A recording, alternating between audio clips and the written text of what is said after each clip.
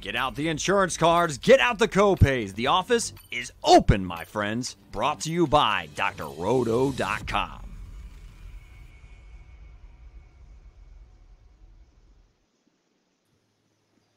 It's time once again for everybody to come aboard that Green Screens Media train. Good morning. What is up? This is one and done off season edition. As we have told you, we're going to be able to bring you some coaches interviews from around the country, some reporters, dive into everything in the off season because as you know, college basketball never sleeps. My name is Jay Heinrich, the conductor of the aforementioned Green Screens train. You can follow me on Twitter at Dr. William Cannon right over here in the middle, right? Oh, now to the side of me, over. Wait, yeah, there we are. You can find him on those Twitter streets at Fantasy Nav, Mr. Eric Romoff. Eric, how are we today? Doing well. Uh, I, I, think the theme that you mentioned off the top is is the one to underscore here, right? We are kicking off our off season tour through the WCC and our coaching interviews, but college basketball never sleeps, right? There is no such thing as an off season, so we are still here pushing out content just as readily as we were during the regular season, and I am super excited about today's show. Absolutely, and not to be forgotten, our guy, you can follow him on Twitter at MC Holland34, Mr. Money, Mike Holland. Mike, how are you today, man? I'm doing great, man. It was awesome talking transfer portal last night. Um, you know, we've covered that topic uh, last last couple of days and the coaching carousel. So the off season, you know, college basketball doesn't stop, and uh, I'm excited because we're, we're going out west and we're going to talk to a very successful head coach um, of the Pepperdine Waves, and it's my pleasure to introduce head coach Lorenzo Romar. Let's bring him up here. Coach Romar, how are you? I'm fine, fellas. Transfer portal, huh? yeah, it's, it's a lot. It's a lot. yeah, sure you had very interesting discussion. Absolutely. we we certainly do. Obviously, the the, the transfer portal has uh, has overhauled the landscape in in college basketball. So it's been an ongoing topic for us, but Coach, really, really appreciate you joining us and, and taking some time out of your very busy day to sit down with us.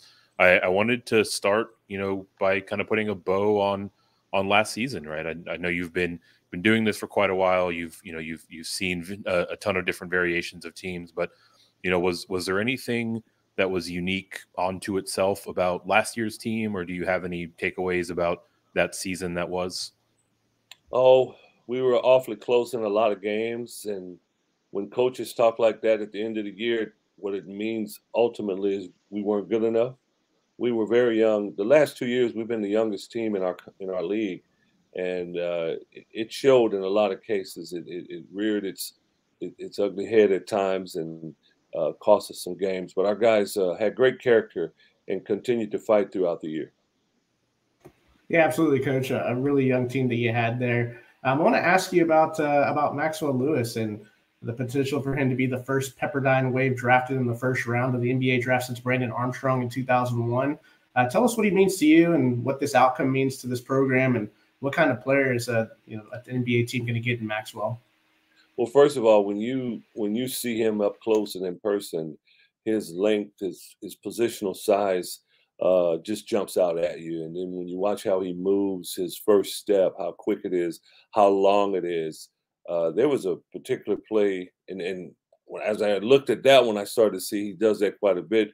He's dribbling the ball right inside the three point line, about a foot off of the off of the free throw line, uh, outside of the key, and he's going left. He spins, doesn't take another dribble, spins to his right, and ends up shooting a layup on the right hand side of the of the rim. It just shows you how long he is and how explosive he is. And uh, that's the kind of talent we're talking about. He can shoot the ball from the perimeter. He, he has tremendous uh, athleticism. And uh, as he continues to grow, he has the potential to become a really good defender. Coach, I'm going to ask you to elaborate a little bit on on the eye test. You know, you talked a lot about what you saw in Maxwell, and um, when you're recruiting somebody, uh, is there a spot in that process where you can sort of tell that there's an NBA level ceiling there? Is that during the recruiting process? Practice? Is it based off of the pure athleticism that you were describing, or or something else? How, how do you recognize that in the player? Well, most of the time, it doesn't take very long. When they have NBA talent, that one doesn't take very long. But then there are others that haven't quite bloomed yet. They haven't quite blossomed yet. They're they still have their upside. Uh, uh, you have to watch them a little bit longer sometimes. But if they're going to play in the NBA, it usually jumps out at you. And as I mentioned earlier, when you look at his size at six seven with a six ten wingspan, you look at his athleticism. You look at how he releases the ball so easily with range, how effective a jump shooter he is. Uh, you kind of start to figure it out that uh, okay, this guy might have a chance. Yeah, definitely seems like the, the the cream rises to the top there. It's it's got to be fun for that light bulb to go off when when you know you've got someone that's that's special on the roster. Um, we we talked about it a bit off the top. Um, you know the the theme for the off season and the overarching theme for college basketball is how the transfer portal and NIL have really changed the landscape, right? So you've you've been around the block a little bit. I'm I'm curious to know you know what your perspective is on on the impact of these two things on the college game but also you know in what ways you've had to kind of evolve your approach as a coach and as a program builder. Well you you could either love the transfer portal NIL first of all the NIL in itself where kids are able to take advantage of their talents uh, while they're in college i think is great. My issue has always been how do you monitor it? And uh, but for these young people to have an opportunity to make money uh, before they hit the NBA. I think it's great for them. Uh, the, the, with the portal, it's either really helping you or it's really hurting you, and it's uh it's different now because you can't look at your roster and project what it's going to be like in two years, and in some cases even one year. You just have to figure that someone's going to go into the portal and you can't figure out who it's going to be. And so you've got to you've got to kind of recruit for the next for the upcoming year. You can't really recruit as much for the future. So well, this is what we have in line. So maybe we don't need a forward. We need more of a point guard. And uh, as soon as the season's over, forward walks in your office and tells you I'm probably going to go in the portal well, now we need a forward. So we hadn't planned on that, but we just got to stay ready. And coaches all over America are daily checking the the new name or new mm-hmm. names that enter the portal that day, and if you have an opportunity to try to get them to, to come with you. So as they leave you, it's it's a little easier to replace, but it's hard to plan. Yeah, I hear that, Coach. Uh, I think we're over 1,400 players and heading towards another 1,700 plus as we've had the past couple of years. So, um, yeah, looking for a bunch of a bunch of different looking rosters this coming year. But you know, we know some of some of the players in your program are, are moving on via the portal. But uh, with that comes the opportunity to obviously reshape your roster. And, and, one guy that you guys have announced is the Wyoming and USC guard Ethan Anderson. What are you most excited about with uh, with the addition of Ethan? He's going to be a fifth year senior. He's been to the NCAA tournament. He's played in the Elite Eight, and he's a good basketball player. He's mature. He's a leader. He's strong. Uh, he is kind of what we have been facing the last two years with the young team. It seems like everyone we play against have four, five, and six year players in there, and uh, that's something that we have not had. Uh, someone in their fourth, fifth year that is a starter that's contributing heavily and uh, he he provides that for us. So it's uh, with a young team. I, I don't think next year uh, we, have had freshmen and sophomores primarily playing the majority of the minutes, and this year with the addition of Ethan, that'll change a little bit, and I think it just helps in every aspect with our program. Coach, you led off talking about how young you guys are. You know, um, last in your conference in age. You know, in the 300s and Division One experience the last few years you talked about Anderson's experience and what he brings to the table as you build your roster through, you know, through your recruiting, but also through the transfer portal. Do you have to focus? Is, is like the experience factor something that you focus in on there? Um, how do you approach that in terms of your roster building? I think you have to. It's uh, we were hopeful that we could do it just through recruiting, maybe high school kids, but uh, it's taken two years. We've taken our lumps, and we I believe we have some really good pieces within our within our program. but it's taken a couple of years. And now we're finally older, though. And now the challenge is going to be how do we stay older? And you can do it through the portal, but I also think that uh, we need to continue to recruit out of high school as those guys develop along with the guys that you get in the portal. Yeah, absolutely. We've we've talked a lot through the course of this season and the young off season about just how how impactful it is to have an experienced group of guys. So definitely understand where, where you're coming from there. I, I know that we are very early in the off season, so there are still a few spots to fill in on your roster. But from the guys that you are expecting to come back, is there uh, is there one or two that you're you know you're you're forecasting them to make a, a pretty big leap forward in the season to come in terms of production or on court leadership? Well, I think you know coming back, our, our team captain last year was Houston Mallette. Uh, he's averaged 13 points a game uh, in his first two years of college, and I think he'll be even better next year. He will be now a veteran. He'll be one of those older guys, and uh, he's a, he's a talent. He's a great leader. Uh, Jevon Porter, uh, six eleven, versatile forward. Uh, I think will make a big jump as well. He'll be stronger.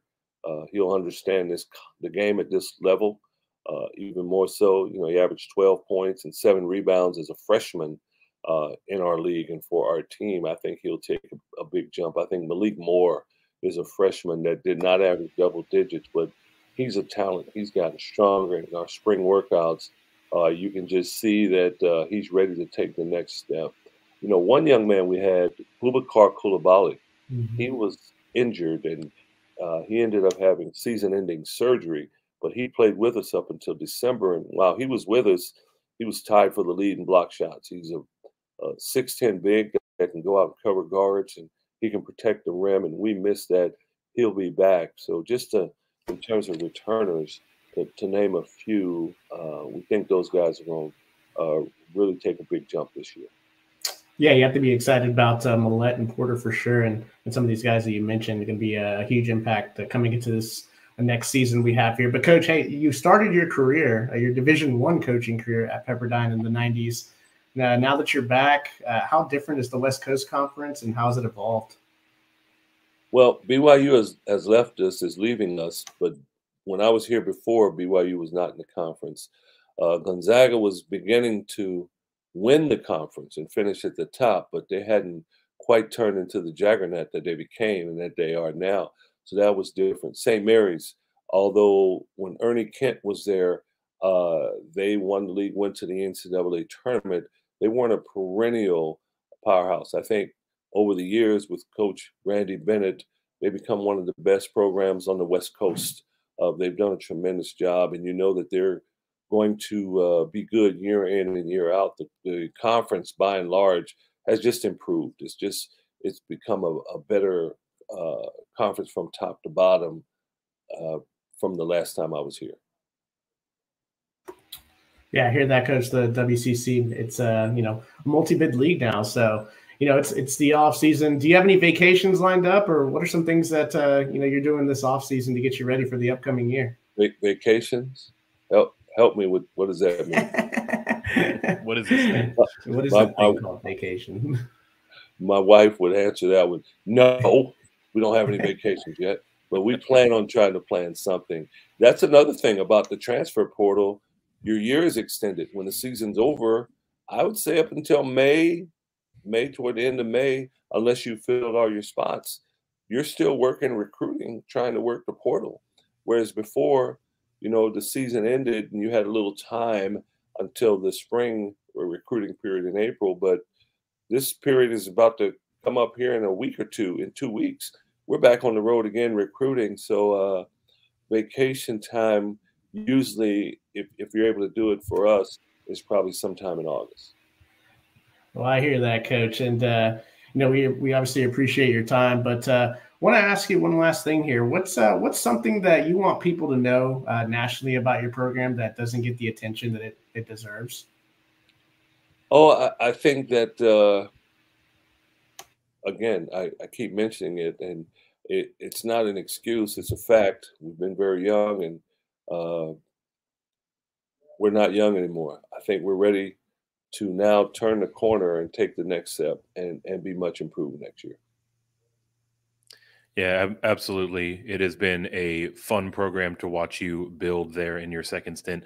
Lorenzo Romar, head coach of the Pepperdine Waves.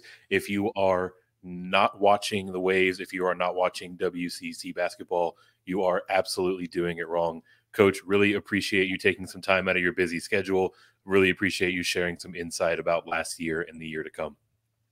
Thanks so much for having me on. I appreciate it. Thank you, Coach. Thanks, Coach. Good okay. luck this year. All right. Okay. Bye bye.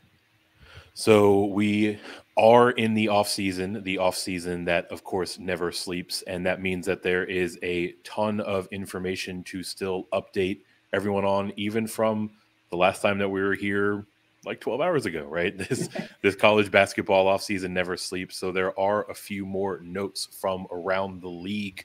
Um, Mike, you want to kick us off with some of those key points that have transpired since the last time we were on?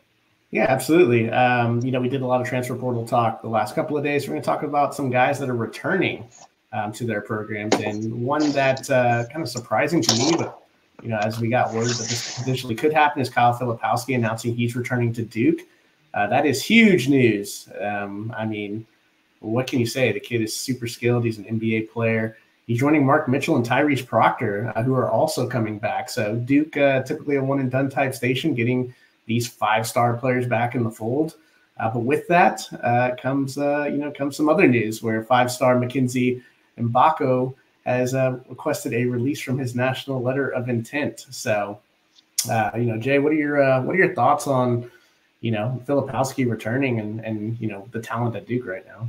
Obviously, a huge deal for them to really solidify themselves as somebody that's going to contend for that number one preseason spot. I mean, he's just that type of a player. Um, the rich get richer, right? Like you, you, we, every time we think Duke is left for dead, they're they sit up like they were the Undertaker after you know Randy Orton hits an RKO. I mean, this is it is what it is. Like they they never going anywhere. They're in there. It's not like and not to bash on Texas Tech, even though I'll usually take an opportunity to do that. But when a coach leaves Texas Tech, when they were, you know, in a good place. It doesn't necessarily mean that that's going to be sustained success. Duke is in a place now, and obviously still a good coach in place there. Yeah. Uh, somebody, the the program's in very worthy hands. But uh, yeah, man, like for me, that's just um, the rich keep getting richer, and and Duke, it, Duke is never going anywhere. We we got to just accept that, man. Eric, any? Did you have any thoughts on the Duke situation here? Yeah, I mean, uh, year in and year out, right? An embarrassment of riches. This was a team that made their way in as a five seed last year. Probably were a little underseeded there, and that we like to make a deep run, and they go right back to that war chest and, and reload, right? So, uh, tell me when you've you know stop me when you've heard this one before. Probably looking at another strong season for the Blue Devils in the year to come. Yeah, I think they're uh, probably the early favorite to be preseason number one. So, yep. that has a ton of ton of uh, you know, five stars times ten is a, a lot of stars. So, uh, yeah, we'll, we'll, see. I was told do. there would be no math. Exactly, every show. Um, one one more one more uh, team to talk about. You know, before we before we close this this episode of One and Done Out, Michigan State. You know, I I really ragged on the Big Ten hard for their lack of performance in the tournament, and Michigan State was that team that did you know win a couple of games there. Um, Tyson Walker and Malik Hall say announced that they're coming back. Mm-hmm. Mike, um, what does this mean for that Spartan program and Coach Izzo?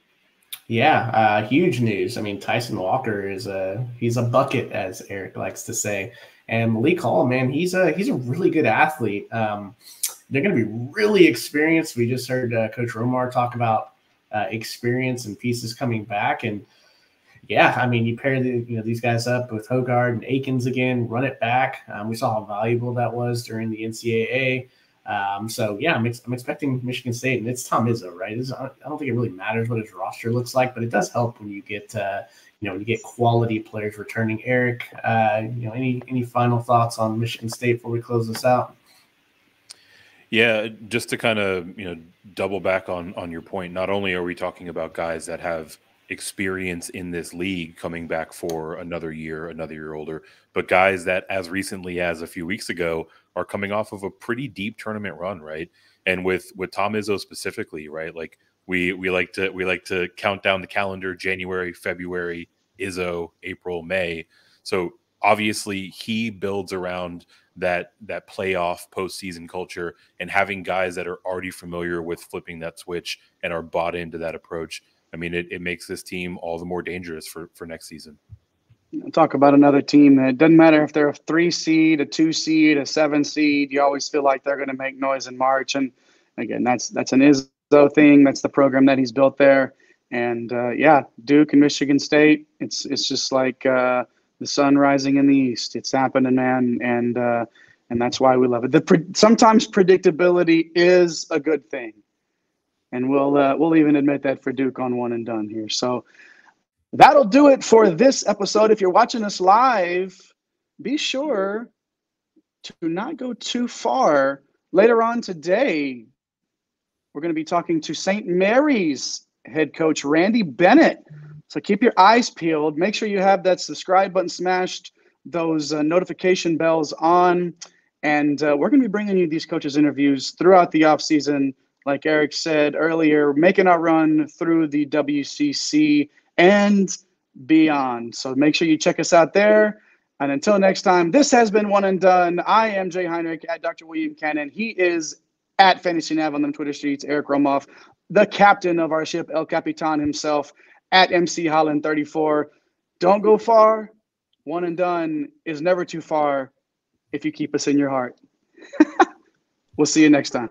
Thanks for stopping by the office. Get your fantasy prescription by subscribing to the channel and checking out drroto.com. And until the next visit, be well and take care.